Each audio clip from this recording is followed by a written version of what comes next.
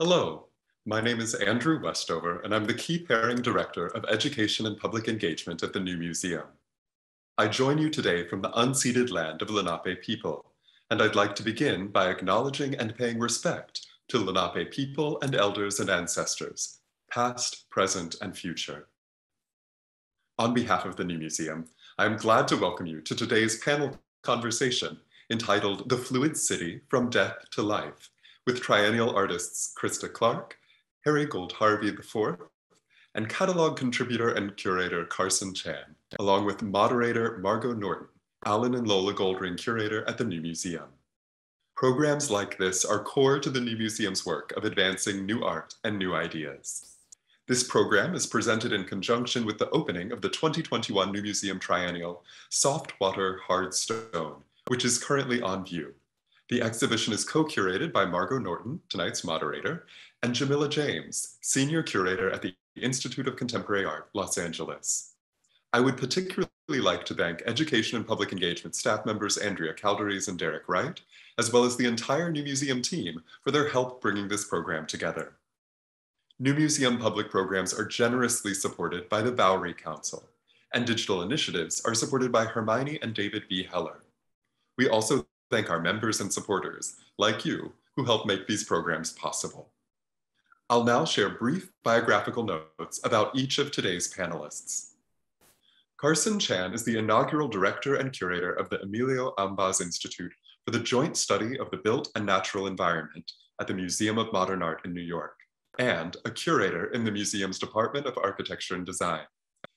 Chan is also the co-founder of Program, a nonprofit project space and residency program in Berlin. In 2013, Chan served as executive director of the Biennial of the Americas in Denver and co-curated the fourth Marrakesh Biennial with Nadim Samman in 2012. A widely published author and commenter on art, architecture, and contemporary culture, Chan is editor-at-large of 32C and a founding editor of Current, Collective for Architecture, History, and the Environment, alongside Daniel A. Barber and Dalal Musaid Al.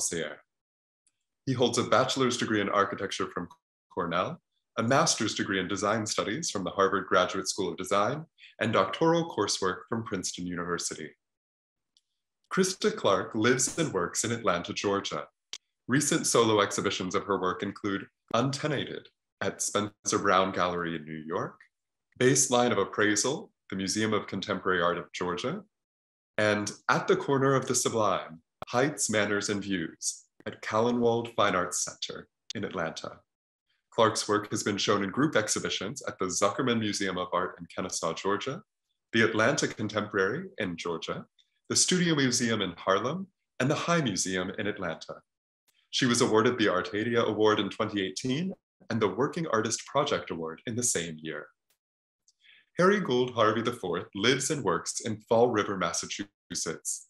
Recent solo and two-person exhibitions of his work include The Confusion of Tongues at Bureau in New York, Faith Wilding and Harry Gould Harvey IV at David Winton Bell Gallery at Brown University, and Harry Gould Harvey IV with Species, Atlanta Contemporary. Harry's work has been shown in group exhibitions at the Centre d'Art Contemporain Bethany, Leroy Neiman Gallery at Columbia University, Hotel Art Pavilion in Brooklyn, and Kunsthalle Wichita in Kansas. Harvey is the founder of the curatorial project Pretty Days and co-director of the Fall River Museum of Contemporary Art. And now a few logistical notes before we begin. This program will last for approximately one hour. If you would like to ask a question, feel free to use the Q&A function at any time by clicking the Q&A button located at the bottom of your screen to type your question. Please note that this program is being recorded, so your question will be recorded as well. I encourage you to learn more about our upcoming public programs on our website, newmuseum.org. Now, without further ado, I turn the conversation over to tonight's moderator, Margot Norton. Thank you so much, Andrew. And so honored to be here today with you all to speak about the topic of the fluid city from death to life. This is the third roundtable discussion in a series of five which are held in conjunction with the 2021 New Museum Triennial Soft Water Hard Stone, uh, which I curated with Jamillah James, and is on view at the New Museum now through January 23rd. And I hope for those of you that are in New York who, or who are able to travel to New York, that you'll have a chance to see the exhibition in person. And for those who can't, we also have guided virtual tours of the exhibition, including one upcoming this December 10th, and two more roundtable conversations in the weeks to come, including one on mediated bodies on December 16th and uh, one on colonial legacies on January 13th. And you can register for these programs on newmuseum.org. And all past recorded programs are up on newmuseum.tv and on the events page on our website. So uh, hello to those of you watching in the future as well. Um, today, we are going to be discussing some ideas around the theme of the fluid city in the triennial, and we'll be in discussion with two artists participating in the exhibition, uh, Harry Gould Harvey IV and Krista Clark, as well as curator and architecture writer Carson Chan, who also contributed a wonderful interview in the triennial catalog with artist Nadia Belerique. I'll begin by giving a brief background about some of the ideas behind the theme of the Fluid City and its relationship to the exhibition. And then we'll move into presenting, uh, into presentations by the speakers about their work before moving into a discussion. And if there's time, we'll also take questions from the audience. So feel free to drop those questions in the Q&A function in the chat as they come up. So to connect onto the topic of the fluid city, I just wanted to start with a brief recap on the overarching theme and title, Soft Water Hard Stone.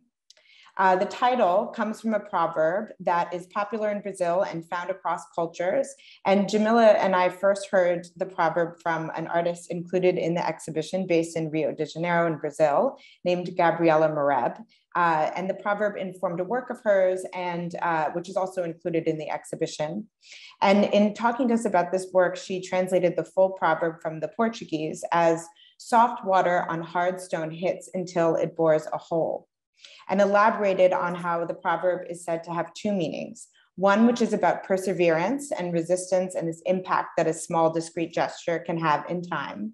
And the second, which is about ideas of impermanence and inevitable change, things that I feel like we've all had a deep lesson in these past years.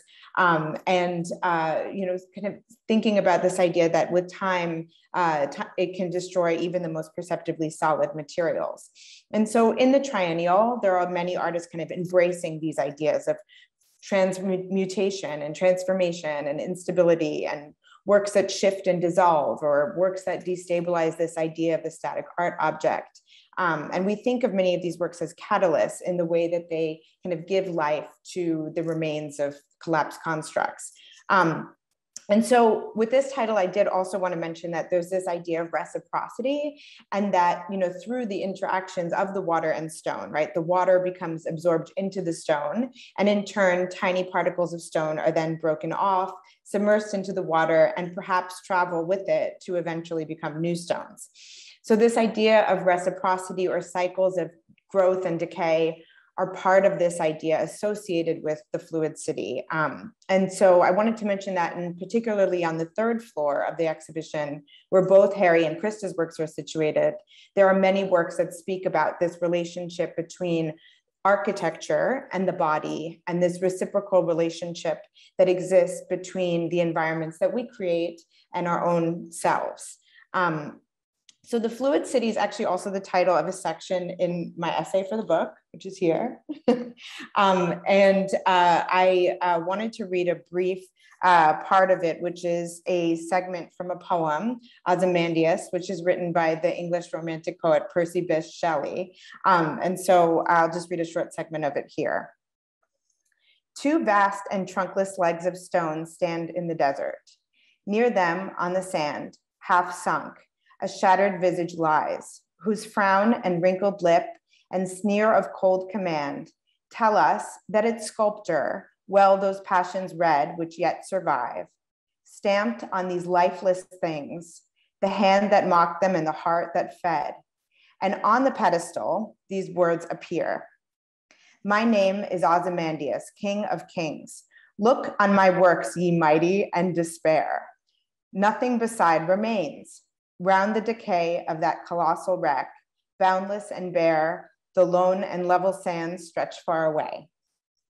And so uh, I began this kind of section of the essay in speaking about that because I was thinking about this kind of hubris that underlies the pharaoh Ozymandias's proud boast, uh, as well as this inherent futility in the fact that you know creating monuments under this assumption that they'll endure forever and you know remain unchanging, um, and felt like that poem reveals this truth that like the proverb soft water hard stone uh, which gives the exhibition its title um, that even the most colossal or sturdy structures are subject to decay and that like us and everything for that matter they too have a lifespan um, and so like the individuals that build them they're subject to cycles of loss and regeneration and in constant need of reflection and revision and as those material fragments kind of pile up um, we're also kind of reminded of this untapped creative potential that we might uncover to give them new life.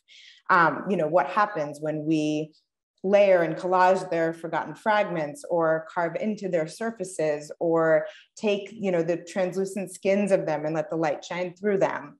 Um, and we can see examples of this uh, in the artworks in the exhibition as well as in the following presentations. Um, and so uh, having said that to give a bit of background I uh, will actually now invite our speakers to present on their work and their practices in relationship to this theme, uh, starting with Harry Gould Harvey IV, and then Krista Clark and Carson Chan, and we'll follow up with a discussion together and hopefully have some time for questions. Uh, so I will now hand it over to our first presenter, Harry Gould Harvey IV. Yeah, thanks so much for involving me in this talk. I really feel appreciated to, uh, or I re really feel appreciative to be able to share my perspective. I'm an artist from Fall River, Massachusetts. Um, I'm a self-taught autodidactic artist. Um, and I made a selection of images that just kind of, I think related to the etymology of some of the formal foundations of the works that I make now, but also like my intentions in getting involved with the, the art making process and trying to interject into the different art worlds um, at different points in my life. But um, this first slide here is uh, two earlier works from around 2015 and 2017. On the left, it was shown here at Chicken Coop Contemporary in uh, Portland, Oregon, which was a space run by Srijan Truderoy. I don't know to accurately pronounce his last name. But it was an artist run space that was within a chicken coop, and the chickens were the viewers of the work.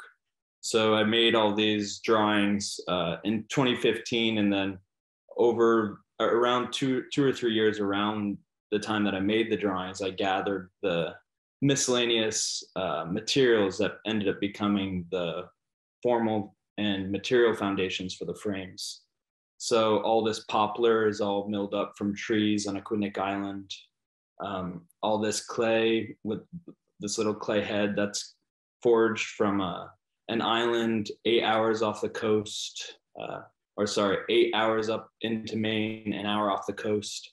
And through kind of like creating these new combinations, I try to create like uh, poetic connections and draw lines that seem maybe more visibly to visible to me that have yet to be uh, elucidated in relating to um, the ecological and like uh, unseen connections within our kind of our worlds. Um, so this drawing, uh, sorry, if you want to, this drawing here, I think is like, uh, as an autodidact, I've always kind of dealt with these boundaries. Uh, um, if I am a self-taught artist, then do I, am I an insider? Am I an outsider? If there's a folk, is there a gentry? Where exactly do I stand within it?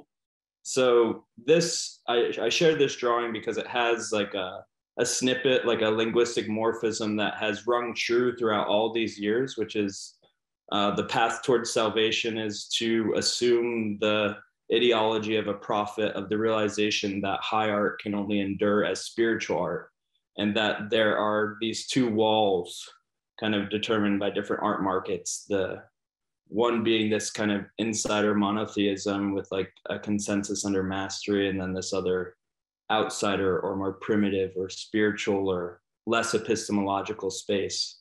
Um, and I, I guess over time, this drawing has revealed itself more and more to me, which I was really thankful for.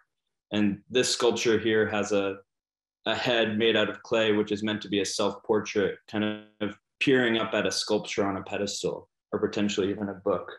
And that moment of kind of looking at an object and realizing miniatures to make sense of my large world has been like a theme throughout all of this work. So if you want to go to the next slide. Uh, this sculpture here is actually, it's, all these are just details. And for, like I, I wanted to focus in on like these little specific moments within the work, but this sculpture here is clay from Swans Island in Maine. And these are Asiatic bittersweet vines that I stole from the Citibank estate in Newport. And then black walnut that came down during Hurricane Sandy uh, on the lands of the Newport Mansions in Newport, Rhode Island. Uh, being from Fall River, Massachusetts, it's a uh, it's a socioeconomically impoverished post-industrial city about 20 minutes north of Newport. So while the Firestone mansions for the Firestone families were in Newport, the Firestone factories in Fall River were burning down. So there's always been this uh, dichotomy uh, of like a really wealthy kind of Victorian center that has a lot of opulence and gilding, and then this kind of Gothic post-industrial city with a lot of church spires and smokestacks. You can go to the next slide here, I guess. So in kind of an attempt to like trace some like the etymology, like the etymology of the forms within my work, I I uh, found some repetition within these sculptures, and this is a sculpture that I made in the year 2018. I think it was called "Putting Klaus to Bed While Listening to deadmau5 in My Head," and it was uh, kind of like this funny linguistic morphism. I don't even really like deadmau5 the DJ, but um, I ended up coming across this Claes Oldenburg mouse from an archive of photos uh, in Newport, Rhode Island, that were in the McKillop Library from a public installation, uh, where young individuals in Newport were so frustrated by these large monumental sculptures. I think there was even, I, I may be wrong, maybe Mark di Suvero or Robert Grosvenor, but there was a sculpture that was pushed off by the locals into the, into the ocean I, and I and that really kind of struck me as to like as I'm creating objects as to where they will lie or what viewership might take value into them or or how different communities that I interact with might reject certain aspects of it. Go to the next one here. And then here, this is like uh, another material uh, like manifestation that attempts to elucidate like the poetic or ecological connections that are visible to me. These are, uh, um, this is all mahogany that's been brought over from, that's left over from of shipbuilding in Fall River. This is oriented strand bar, strand board from the commercial building supply. Um, while I was making all this work, I was having to subsidize it economically working as a, a contractor. So I was working on people's houses and this sculpture is um, this moment in history, or it relates to this moment in history where uh, we were switching from spermaceti oil or whale oil, uh, and that being the main kind of lubricant and fuel to uh, fossil fuels. And I became really fascinated by the primitive and vernacular architecture around the oil rigs and how it related to uh, the foundations of Carpenter Gothic or more vernacular forms of architecture. See those little self-portraits hidden underneath it. Um, go to the next slide there. Here's a little bit more as like as these dioramas grew from these little singular moments of one perspective, I started to involve multiple selves to try to reconcile some of the paradoxical or absurdities within reality that I've yet to been able to really wrap my head around again, all these materials have like a certain ecological history, a certain material history. These are Depression era grates on the left here on this sculpture. Uh, and those were used in gas furnaces in Fall River during the Depression era. This is black walnut, again, from the Newport Mansions. This is a tree that was built, I mean, uh, probably this is a tree that was planted probably over 200 years ago that came down during Hurricane Sandy. And that single tree has been like the material foundations for tons and tons of my sculptures. Uh, here's a little model of a sculpture garden. There's an Art in America mailer. All of those materials came out of the, uh, the trash from the Newport Art Association. I got every issue of Art in America from 1960 to 2000 or 2001, I think. So I started really involving all this detritus and kind of like trying to wrap my head around this absurd uh, statement art in America. Um, you can go to the next slide here.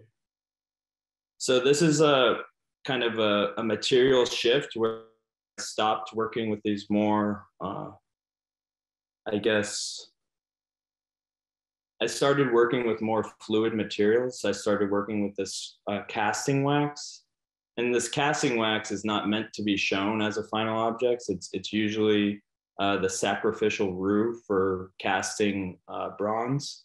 But I kind of became obsessed with the sacrificial quality, uh, the relationship to like uh, ecclesiastical or even like kind of Catholic traditions, and just like the the pigmentation and the nature of the wax was really exciting for me because it allowed me to morph and blur boundaries between the built environment and the organic environment.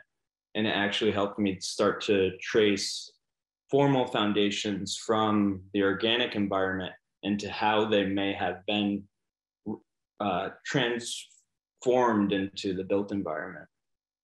Um, if you look closely here on the left, this sculpture has like a loose depiction of Plato's allegory of the cave. So there's kind of the, like these kind of somewhat heavy-handed but uh, institutional tropes that I'm trying to deal with with uh, reconciling, uh, pulling your head outside of uh, your your worldview or or trying to fracture your paradigm, whatever may, that may be. You can go to the next slide here. So again, this is like uh, another Klaus mouse, but it's rendered in wax on top of uh, an Italian designer chair. I'm forgetting the name of the designer. Um, but again, putting Klaus to bed. Um, there's this kind of really droopy, uh, liquid, like permanence that's really exciting with the wax. It, it somehow like solidifies uh, what's some, something that's usually so kind of transitional. So the next slide. Here's some work uh, from my show at Brown University with Faith Wilding, just to give some more uh, material foundations of the work. This is all lost wax, casting wax, street sweeper, street sweep, street sweeper bristles from the streets of Manhattan. Um, there's this whole kind of scaffolding, some transformational ladders, some relationships to architecture. And these as you'll see in the works in the new museum, are wax sculptures that I construct on top of uh, unused job site heaters.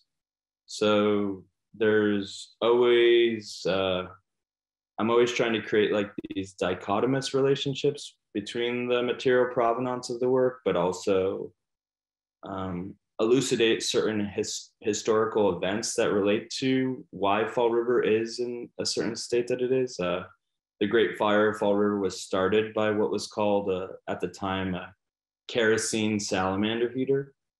Um, so this propane iteration, although it's out of code bureaucratically, uh, still many construction workers use it in Fall River. Similarly to the knob and tube wiring that uh, is still prevalent in a lot of the homes, in addition to lead, other noxious materials. So I'm really trying to, I guess, relate to those materials, kind of dig at the root of them and and experiment freely and use these kind of objects of our built environment, the street sweepers, which are really, if you look at the big picture, become like these extortion devices by making sure that we move our cars off of the streets that we pay taxes for. And they kind of like bring up all the detritus from the street and push it into our lungs and sometimes these little spring steel structures shoot off. And that's where I kind of collect them and turn them into the scaffolding for these wax structures. You can go to the next slide here. So these are two details uh, of some found objects from Belcourt Castle, which is a uh, it's a grand mansion in Newport, Rhode Island, a Victorian era mansion.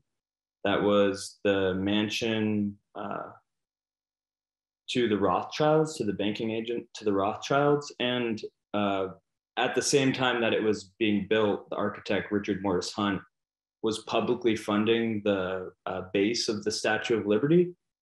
And I found there to be some type of irony while like the American people are publicly funding this uh, representation of our individual liberties. He was working with like the oligarchs and aristocracy of the time to support his financial, like I guess, mobility, but also to build these grand, garish, like Gothic structures. And these uh, blackened pieces of wood were actual architectural forms within the house that I excavated when I was younger and then charred all black. There's some of the transformational wax that I melted site specifically in, sp- in the space to drip onto the floor. And then there's an example of some of the uh, white zinc that I make that has a high concentration of lead. Um, and those are some of the forms that are made out of the sacrificial wax. We can go to the next slide here. So this is again, like speaking of the etymology or, or my interest in like presenting this sculpture in the new museum. This sculpture is called uh, The Old Church is a Nuded Fumigation. There's a, I think this sculpture is actually from Denver, or maybe not, maybe it's another, maybe this one's in Florida, but this is an old Alexander Calder sculpture that I made out of uh, MDF and charcoal and colored pencil and put a little moisture tent over it and kept introducing moisture until these mold spores started growing out of the sculpture in the church. And this little palette here has miniaturized salesman's edition of asbestos tiles, a little roll of lead, some steel cable, and some more of those Swan's Island heads that I consider self portraits. And then this is a sculpture originally by Tony Smith that uh, then Wade Guyton made a simulacrum of for Socrates Sculpture Park in 2004 that then I made an MDF and charcoal and mold simulacrum of. Um, and you can go to the next one. And then this is the installation at the, the new museum. Go, so kind of like speaking in that, thinking in that same kind of tangential thought of the old church being in need of fumigation, but also thinking about how we n- negotiate existing architectures and how they support uh, different paradoxes within them and how they provide space for human experiences that may be less literal than like the physical manifestations that become architecture. So I guess like these two church doors are from a church in Providence, Rhode Island. Uh, they're what I like to say spatchcocked. So they're kind of broken open and inverted instead of the peak meeting meeting at one precipice that it's then kind of butterflied into two. And I plumbed these job site heaters into the locks and uh, constructed these sculptures out of different found objects and materials that relate to like the poetic foundations that I'm interested in kind of creating. Uh, there's some scrap scrap metal from the Whole Foods uh, in Providence, where my friend's a fishmonger. Some job site heaters, again, some more sacrificial wax, and these more personal uh, spiritual ruminations that I get then gild in these protectionary frames. And go to the next slide there. I don't even know how, how if I'm being too tangential, if I'm off time, what it is, but yeah. So there's these two drawings here. Should I stop talking? Yeah, I think we're, we're. We maybe need to move on. But thank you, Harry, so much for this presentation. This is amazing. Um, and yeah, I'll invite uh, Krista Clark to, to, to present next. And we just want to make sure we have time for the discussion after. Thank you so much. Okay. Hello, everyone. Um, I wanted to just um, first thank um, Margot and Andrew um, for inviting me to be in conversation with Harry and Carson tonight, and just for giving me this opportunity to share a little bit more about my work. Um, and just, and also thank you to everyone who has joined us tonight. Um, I was just, so in listening to Harry, like the overlap um, in terms of between our work, um, these transitional spaces um, and um, also thinking about exposing materials and not uh, trying to create some type of illusion necessarily. Um, um, so for me, in, in many ways, and just thinking about this conversation tonight, I feel like I often um, entered the conversation through the back door. Um, I began thinking about this kind of um, spatial development, I guess, um, differently for myself when I became a homeowner. Um, so I live in Atlanta, Georgia. Um, and when my husband and I purchased a home in 2013, um, I realized quickly it was not just about the plot of land um, that we now own, but also the community we are now embedded in. Um, and I realize that may seem extremely extremely obvious that it's not just about your home but the your surrounding space. Um, but i don't think that every community or home purchase really provides that realization. Um, i live in southwest atlanta um, so it's a little bit less than a five minute drive um, from the campuses of morehouse and spelman and clark atlanta university.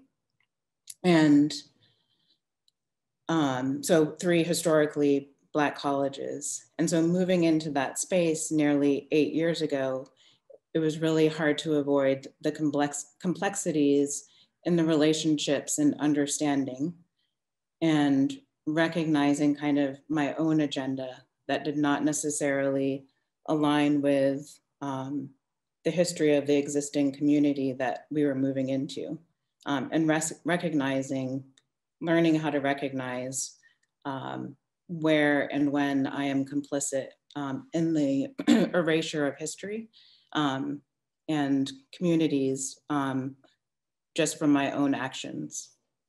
Um, and at the same time, um, I was partaking in my own kind of personal revolutionary act of making a place, a dwelling for myself and for my husband. and I think I know actually now that the success of that, of just creating my own um, space, um, has become even more revolutionary, we all know, in the past two years. And so it's really that intersection um, that prompted me to make the work and um, from which I kind of continue to make the work. Uh, so I divided the slides up um, into two um, shows that I had. And um, these first three slides, um, this starting with this one, um, is an image from an exhibition that I had, excuse me, at the Museum of Contemporary Art of Georgia, and it is enti was entitled "Baseline of Appraisal." So the assumption that there is this bottom line um, for value, for aesthetic value, um, and so in thinking about and planning for the exhibition, the premise of the exhibition was to, to create these foundations like you see here. Um, so these foundations, some were poured concrete that we poured, um, they poured in the space. Um, and then others were um, these wood and fiberglass, fiber, fiberglass platforms that were not were also meant to serve as um, sort of these interior objects or more so kind of moving away from this foundational structure, but more of like a, a piece of furniture that you see on the right. Um, but also particularly in this piece that you're looking at um, in the exhibition, pointing to a transitional um, interior exterior space. Um, and so this the space in which um, bell hooks that I always come back to, and um, especially for, for this show, in her book, Art in My Mind. Um, and then she has a particular chapter called Black Vernacular Architecture as Cultural Practice.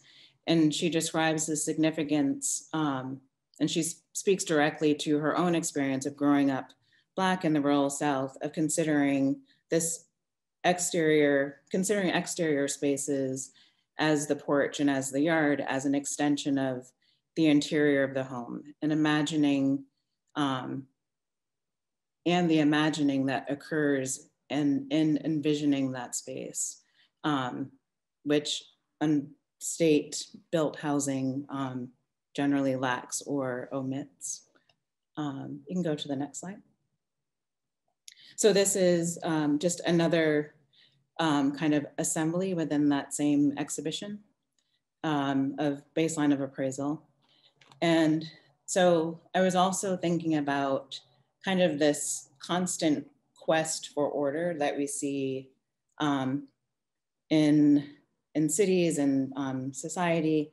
Um, this very kind of particular quest that I see also that kind of interrupts um, different communities um, this order within this kind of minimal aesthetic.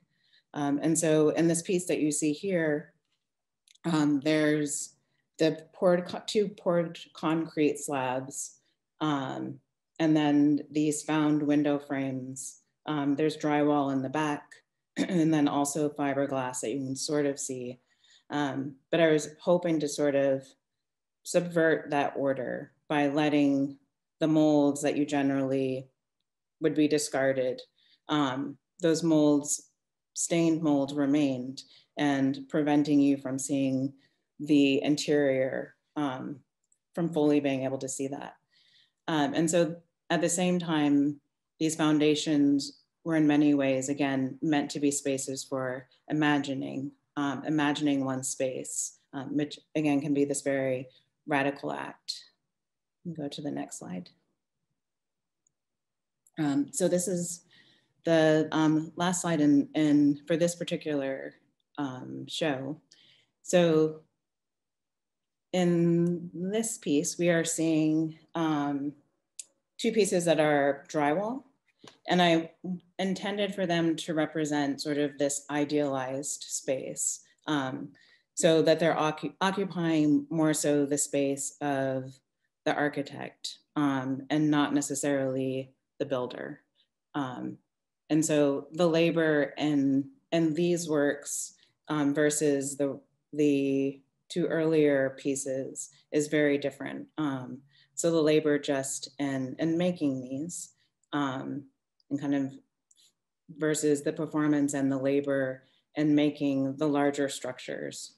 Um, and again, these representing more so this kind of conceptual or imagined space. go to the next slide. So um, the next two slides uh, are from a show that I had um, at Spencer Brownstone Gallery in New York um, entitled Untenanted. And so this came, um, both of these shows were in um, 2019. And this followed the, um, the, the last show that I was just speaking about. And so I started thinking about this objectification of architecture um, and how um, some have this, this privilege to approach it as a game, um, as opposed to, um, so the game of real estate, rather than a space or more specifically um, this necessity of shelter.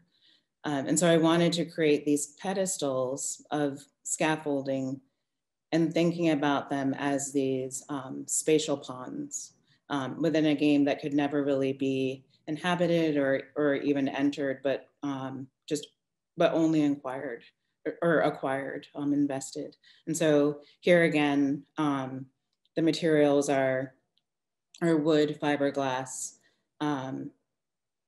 concrete slabs um, that are were actually reused from the previous show and then um, drywall again. and then the next slide. So um, this piece is actually was important in informing um, how I started thinking about materials in terms of them interrupting space. Um, so this again is in um, the same show, was in the same sh show as um, in Spencer Brownstone. Um, and so it really prompted my interest in playing with tension and the placement of the materials within a space. Um, so it was a way for me to, so the, the board um, that you see leaning is about seven feet. Um, and so eventually, and it's being held by um, bungee cords. Um, and so, and it started to lean a little bit more, I think, as the um, exhibition um, went, went on. But it was a way for me to realize how to intervene and disrupt a space and thinking about our relationship to the material, to the space. Um, and that intervention also was, I feel, is, is created by leaving these materials in their raw state and not, again, embellishing them in any way. So that these are kind of the undersides or the innards of a structure that we're not necessarily um, meant to see. And then um, go to the next slide. So these are um, the works that are in the triennial. This is annotations on um, shelter five. And so the two works in the triennial merge and continue my kind of observations and explorations, investigations of kind of interrupting these, um, these standards, these aesthetic standards, these kind of um, sometimes minimal aesthetic standards. And so I see these works again as acts of resistance. Um, so sometimes they are fragile acts of resistance. So the fiberglass, um, you know, appears as this very fragile material, but at the same time, it has, um, if you interact with it anyway, um, it's, um, you know, that the shards of glass are extremely uncomfortable. Um, but these vernacular materials that I hope um, gain power through their disruption and as well as their vulnerability and simply being what they are but also performing and taking up space unapologetically. Um, and a lot of the ways that I think about composing the materials um, sometimes happen from just seeing these sort of poetic happenings in this um, the space in which I live in Atlanta. Um, and so honoring that space, but at the same time recognizing um, that there are also these very um, controversial conversations um, that are happening need to happen within those, those moments as well. And the last slide, or next slide. Um, and this is the other piece in um, the triennial, um, also annotations, but annotations on shelter three. So it's a um, cement slab that is about seven um, feet, um, along with a work light and the work cord. And the tent for me really represents a space of duality. It can be a place of privileged escape or one of, of struggle. Um, it's another disruption, but it is also in this case, um, even pre preventing the cement slab from slipping or crashing. Um, but it's it's for me, it's defying standards and expectations. Um, and so we're we're not meant to see a tent and cement together. We're not supposed to see a tent on cement um, and suggest what that um, infers. That, oops, and then we also have the light. Um, and the light for me that you've seen throughout each of the um, exhibitions is really meant to point to this space of absence and presence, um, pointing to the body, um, and is also another attempt at, at placemaking um, and pointing to kind of this shared space, um, shared experiences that we have with these materials. Amazing. Thank you so much, Krista. And I'll now invite Carson Chan to join us. Um, so thank you, Andrew and Margot, for the invitation to join this discussion. And thank you, Krista and Harry, for your presentations. Um, and I look forward to our conversation afterwards. So hung next to Harry's work in the triennial is this piece by Iris, Iris. Um, and it's a work made out of old lighting fixtures from, I believe, a fabric store close to her studio in Athens. Um, and throughout the exhibition, you can see um, the fluorescent bulbs flickering um, and, and the, the piece will kind of um, stop flickering um, as, they, as the bulbs start to wear out. And for me, the work speaks to the power of art to bring forth narratives about the material conditions of our lives um, and how they speak of the economic, political, social, and ideological context in which we live. Um, and I bring up Iris because in 2011, she was an artist in residence at an art space, um, a project space that I founded in 2006 with um, Fotini Lazaridou Hatzigoga. Um, and it's called Program. Um, and the space comprises of um, a shared office space, uh, bottom left, a library, um, and through and there we made exhibitions that um, tested the disciplinary, disciplinary boundaries of architecture. So we would invite artists, um, dancers, um, and filmmakers, um, for example, to make architecture exhibitions. And one thing that is interesting about this um, project in relationship to the topic that we're talking about tonight is that it existed uh, because of the particular social and economic context of early 2000s Berlin. Um, and so the, for example, it was about 4,000 square feet um, in central Berlin, and it was the entire first floor of a 19th century um, hotel. And we paid $700 for it. So I think that given those conditions, um, you know, as young people, we were able to, you know, have this uh, space and then make exhibitions in there. So one can almost see the relationship between Iris's work um, and Athens um, as a kind of um, analog to how program is, you know, this exhibition space and Berlin, that there's a kind of, they, the, they speak to the co-constitutive nature of, of each other. Um, so here we have, we had workshops in there. Um, and so I was given the opportunity to think deeper about this co-constitutive relationship between the city um, and the cultural sector in 2013 um, when I served as the executive curator of the Biennial of Americas in Denver. And it was called draft urbanism for two reasons.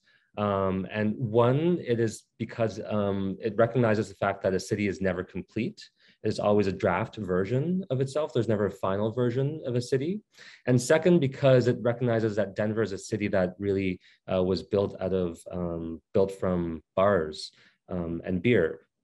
And so the first institutions that um, that were established in Denver um, after um, the mines, so it was a mining city, um, were the bars. And the bars served as kind of proto institutions, um, all sorts of other institutions. So they were libraries in the sense that they, they kept a newspaper um, and then people can go in and, and look at them afterwards. They were banks. Um, so the bartenders would give informal loans. There were hotels. Uh, the miners would sleep uh, in the bars, um, so on and so forth.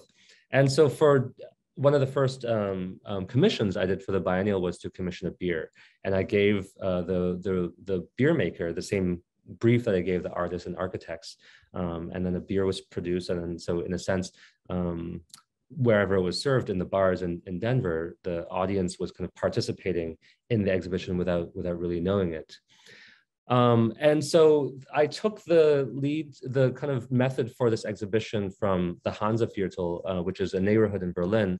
And the idea was that um, instead of showing uh, representations of architecture, like photographs and models, the exhibition of this architecture exhibition showed actual buildings. So this was in 1957, um, and um, architectural luminaries of, of the day were given um, an entire building to build.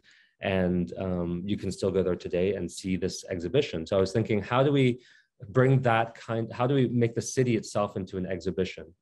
And so the idea was to um, commission artists um, to make original work for billboards that would be around the city and also digital um, display um, monitors.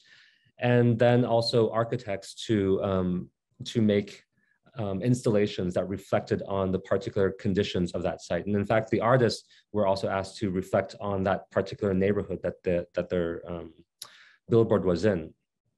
These were the sites for the architectural installations. Um, these are some of the billboards. And so, for example, this is a billboard by Douglas Coupland, um, Canadian author. Um, and so in 2013, Detroit was the first um, um, big city to um, file a Chapter 9 bankruptcy. And so on this is on a highway going into Denver. and um, Douglas um, wrote, Welcome to Detroit. The entire world is now Detroit. Um, I'll just go very quickly through these. These are the architectural installations. This is um, um, Hotel Rehearsal by Alex Schrader. And he reflected on the fact that about 30% um, of downtown Denver is parking lot. And so the, the kind of barrier for developing on those lands is quite high. So he thought, well, what if we rehearsed the fact that we can, you know, make a hotel here? So he he made this truck that had this kind of a hotel room in it, and you could um, go in there and spend the night in there and see what it would be like if um, these parking lot spaces were actually built up. Um, this is Plan B Arquitectos, um, architects from Colombia who made um, shading um, areas in this uh, park that doesn't have any shading. Um, this is June 14 architects um, that made these butterfly cages around public furniture, um, kind of re responding to the question of whether or not homeless people belonged on this public furniture and what it would be like to bring another alien population um, to, to, to these places. Um, and this is Pezo von Ellrichshausen's Mine Pavilion. They're architects from Colombia. And um, they wanted to uh, refer to Denver's mining history and also to build a structure that would give residents um, a kind of visual impression of what it would be to build on this median. And this is a median, it looks like a park, but it's actually a median of a um, eight lane uh, street that cuts downtown Denver in two. And so um, visitors were able to go inside and also one thing that we did, um, another thing we did was that we put museum labels on um, public buildings in downtown Denver that related to the theme. And so this is the Daniels and Fisher building um, in downtown in Denver. And it was uh, designed, it was uh, a kind of uh, replica of the Campanile in, in Venice. Um, it was built in 1910, but the one in um, Venice was uh, destroyed in a fire and was rebuilt in 1912. So in fact, this one is older than the one in San Marco Square in, in Venice. And we found that just by simply putting a museum label on a building, the building becomes uh, transformed from something that you walk past into an object of, um, of inquiry, into an object of attention. And so um, I think I'll stop there um, so we can talk Thank you so much, Carson. Um, and thank you everyone for your incredible presentations. Um, actually, in listening to them, I was thinking about, uh, you know, specifically this idea about how in all of them, there's like this great relationship to the kind of physical material that you work with, or you know the kind of existing architecture that that you work with carson. Um, i love that last project that you showed with the museum labels around the city and kind of using the existing architecture uh, as part of the show. Um, and so like this relationship between physical material but also the conceptual ideas behind the use of that material. Um, and you know in all of your works i feel like there's this kind of deep engagement with the uh, histories and the hierarchies and the power structures that kind of underlie, underlie these. Um, but that the work doesn't kind of stop there. It also reveals so much, many of the possibilities that can exist to kind of give new life to, to, to these places or to, to these remains, if you will. Um, and so I wanted to ask if we could all kind of speak a little bit about um, these ideas in you know relationship to the materials that you use. Um, and maybe we could start with harry and just kind of talking a little bit about you know i i loved your descriptions of these works because they're like this is the walnut wood from the newport mansions and then this is the job site heaters from fall river or these are you know the bristles from the street sweepers. And like how do you go about finding those materials first of all? And then how do you decide what new forms they're going to to to be like do you think do, do, those come to you when you find them? Do they come later? Do you collect these things? Yeah just if you could talk a little bit about that that'd be great. Yeah so i guess i got into the art making process as a photographer so then i started to kind of uh, seek out objects in the world and started to document them as sculpture and that was probably in like 2012 and 2013 and then once i kind of built like a visual library that was pretty primary it had like circles triangles lines maybe like a painted buoy or like uh, an unauthored uh, anonymous sculpture or a piece of folk sculpture. And i kind of like built this uh, foundation of anonymous objects that expanded into like the built environment and trying to discern architecture for myself and deconstructing certain structures while actively like working as a as like a contractor. So i guess like a lot of my work is kind of at the precipice of where institute the institutional and bureaucratic worlds meet the vernacular. That's because i'm coming from like a autodidactic uh, and like vernacular center.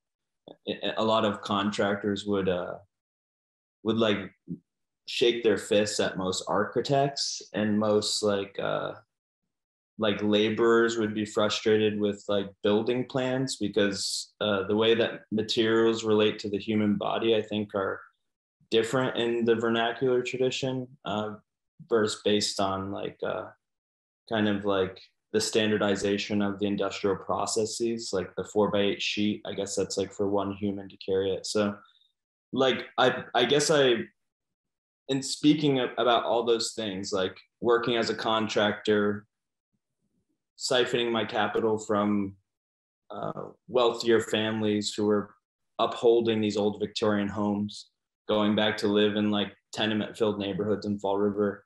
I really started to figure out how I I, I wanted to figure out a way that I could find objects from the everyday world that had these uh, tethered in historical meetings so I could interject myself and create this dichotomous conversation where it's like, yeah, the street sweepers are from the streets of Manhattan, but like those same families that are fueling the furnaces in Fall River are building the museums here.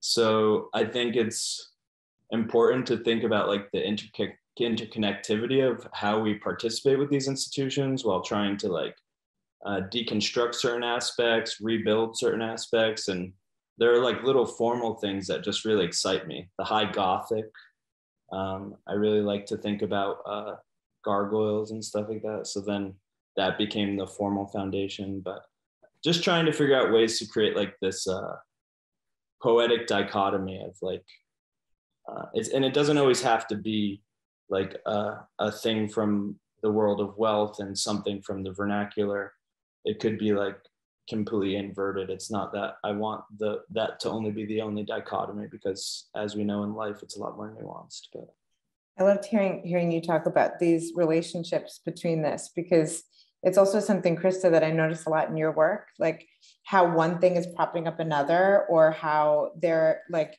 they need one another somehow. Uh, otherwise, they would collapse. Um, and yeah, curious to know a little bit about your process with these materials too, and even you know how you see them relating to these ideas of value and hierarchy that you were uh, kind of speaking about before. Um, you know, just like the act of pouring that concrete slab was was quite something in the show. um, so I'll, I'll let you speak a little bit about that. Um, yeah, and I think similar to um, Harry, I'm all, I'm often very much drawn to the formal elements of the materials. Um, so a lot of times it will be, especially even more so when we've kind of first again moved into um, where I live now, seeing so much um, transition and and um, and also taking into account that Atlanta is like this is a driving city. So making those observations from being in the car as opposed to um, necessarily walking from place to place, which I know I need to do more of, but very different than like in New York than, um, and oftentimes it was just about seeing these incredibly beautiful moments of these materials that um, would kind of fall and were kind of very flaccid and um, and having this moment like that space was just so beautiful but then also it was you know also what it um, signified and that you know something was being something was falling apart or something was being erased or um, a history is being erased. Um, and so i think coming moving that into the studio and finding those taking those materials that are not always it's, it's a combination of new and found. Um, but thinking about what is kind of stacked on on top of something else like what is in the foreground and what is what is being covered or what is being um, erased um, more so i guess in my works on paper. But um, and then there's been a shift recently in making the concrete where it becomes very much so about the labor in making the pieces um, and, and a little bit less about where they're found, um, but incorporating another object, um, like the found object along with the labored object that I've made. I also like love that, you know, it's also calling attention to the structure of the place where it's shown. Like that um, you know concrete slab that's resting on the museum wall like the wall also becomes part of the work or embedded in that um, which kind of brings me to asking carson a bit about uh, the biennial of the americas i feel like that was such a beautiful gesture to like make the city itself the part the exhibition. Um, and i was wondering if you could talk a little bit about that choice um, to to also call attention to these existing structures within the framework of that show rather than you know provide the models or or the the photography.